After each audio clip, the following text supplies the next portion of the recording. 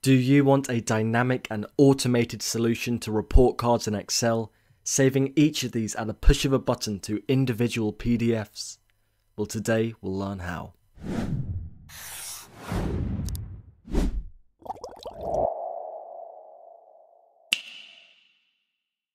First of all, you're going to want to open up an Excel file and save it specifically as a macro enabled workbook.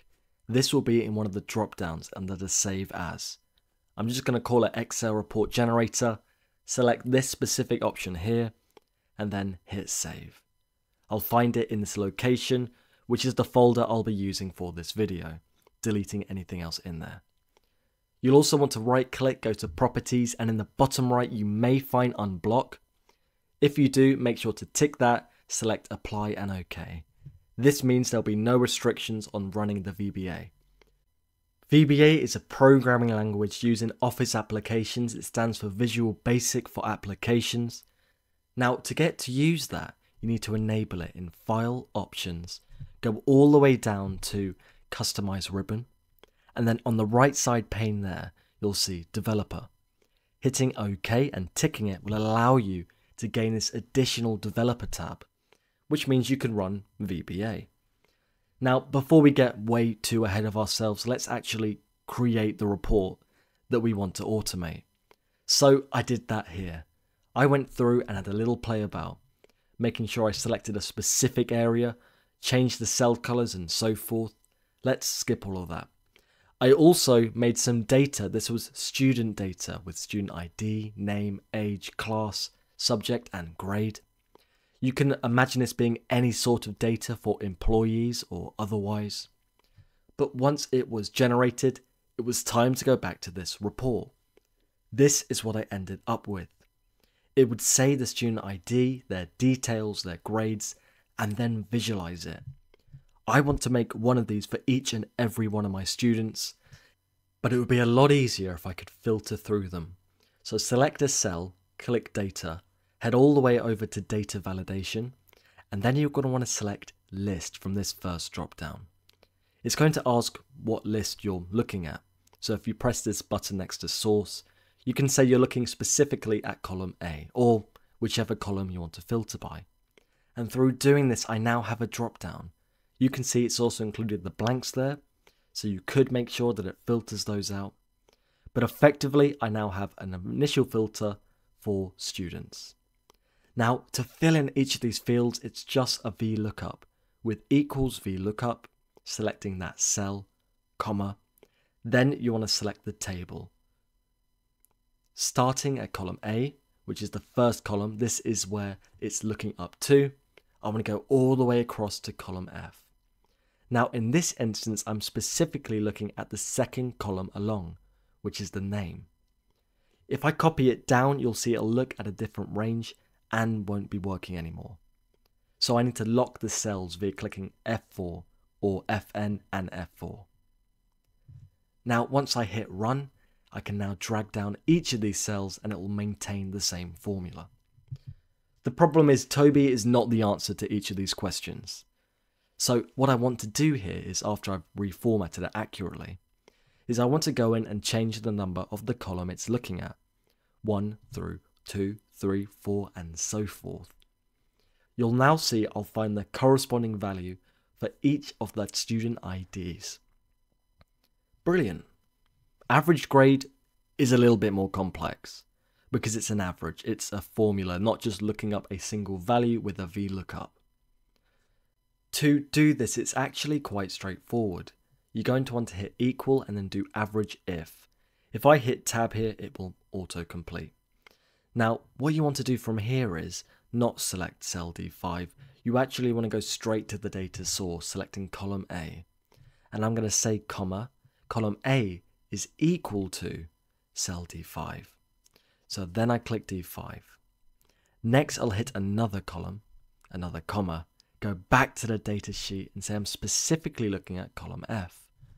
Now what has that done? It's looked at cell D5, which is the student ID in our list, it's looked that up in column A of the data sheet and found the corresponding average of the grade. Here, if I filter by Toby, we can see in the bottom right that yes, it has worked correctly. Fantastic. Now I do need to clear up the formatting there a little bit, but we want to go and make a very similar step here, but per department.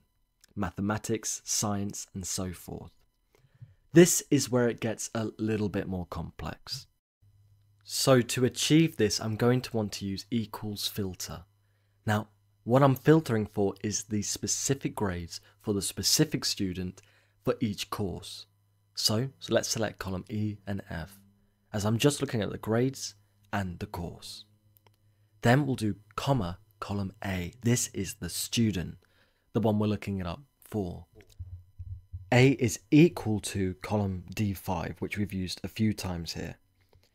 Now, this will about wrap it up. We want to do a comma though and say what we're going to do if it doesn't find anything. So I'll put in some quotation marks, no subjects, but you could change that to whatever you'd like. Now I am going to ensure again I'm locking these cells so they're not looking at any relative position and just looking at exactly where I want them to look. To do that again F4 is your key. You may need to press or hold Control FN or otherwise. Just make sure you look that up. Now, in doing this, it means I can copy and paste it anywhere in the report, which I'll do here. I'll do Control C and then Control V. You can now see not only has it automatically filled in, but it has also updated our chart, which is looking at that specific cell range to build the bar graph. Now after fixing the formatting here just a little bit, I'll want to add a special touch and by clicking these cells and then going to the fill, I can make them a specific color which matches my theme. Now if we filter through these you'll see how it does dynamically update which is brilliant. A little aside here is the top right, the date. I put the formula equals today, close and open brackets. That's how it will always update to the latest date. Now this is good, but it's not automatically running through each of these. To do that, I'm going to have to create how I want it to look. And through going to the print page, I can format that. Now this is the most fiddly bit. See, I made it all fit on one page, I changed the margins to narrow, I also had to play with the page size. As you can see here, I put it as letter, but put whatever fits best. I also changed the orientation to landscape. In the bottom right here, you can have a play with the margin sizes. You can also do that in the actual Excel sheet itself, just to click in the bottom right and then specifically say where you want the print zone to be. Now, this is nothing special. You don't even have to do any of this. But again, if I press page setup, go all the way down, I can align it in the middle, both horizontally and vertically, and it just gives a cleaner feel. Now that we're done with that, let's get to the actual VBA. Going to developer, hitting Visual Basic, we're then able to create a new sheet, or by right clicking, going Insert, Module. This is where we will type the code. Now I've provided this for you in the description, so you don't have to sit here and copy it out with me. I've done that before watching other tutorials and it's, it's no fun. But just hitting run up there with the little green arrow, you'll see it starting to do something. It's actually generating each of your reports to the specific save location in this VBA. I've specifically told it I want it to save to a folder location on my laptop or PC. Make sure you've done the same as well. Just go through it line by line and you'll see where I've left comments saying what you'll need to change. Where I've said specific cell references, like D5 for example, you can change those also. Now, as it's running along, it will pop up eventually and say complete. We're able to go to the folder location, just hit refresh, and there they all are, each and every one of the reports. Now that's great, but what if we could go to Insert in the Developer tab, and then draw our own button? This is a lot more of an engaging and interactive way to use a macro or a VBA.